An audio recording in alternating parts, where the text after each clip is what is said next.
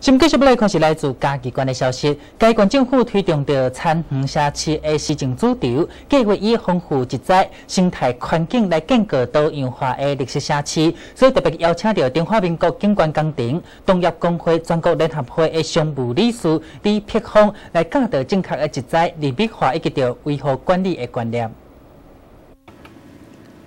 环府推动参考城市高端行动计划当中，建构缤纷公路以及村上春树顶，都是要大量种树，包括伫社区广植树木。绿色长城公路两边拢有主题路树，也有主题公园顶，因此选择树种、树木维护管理非常重要。大量吼啊种树木啊缤，所以咱有一个九大策略内底有缤纷的公路。啊，有村上春树，就是讲咱的社区啊，种足侪树啊，啊，美化社区。另外呢，我觉得绿色长城，就是讲咱的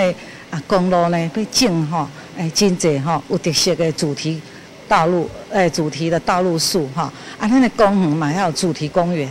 啊，所以咱今日特别请哈全国景观工会的常务理事李碧峰哈，伊足有经验的，且这个部分咱相信专家啊来教咱的。啊，咱县政各部门吼，啊，即个同仁，包括十八乡镇的公所相关的部门的人，来教因教，教要安怎维修，要安怎选树种，啊，要安怎去种树啊，吼，啊，管理。哦，这都是一种哈生活的美学的态度。中华馆认为，嘉义县是典型的农业县，过去接受中央政府的硬体建设真少，都亲像是一个姿色百变的村高。好亲像高雄市是海洋城市，台南是文化古都，台中是商业城，新竹是科技城，台北则是闹热的首都，拢有既定的形象。但是嘉义县会当运用自然风貌，变成有特色的城市，也会当成为生态。健康的、低碳的、绿色的参考城市。最新新闻，中台新嘉义县采访报道。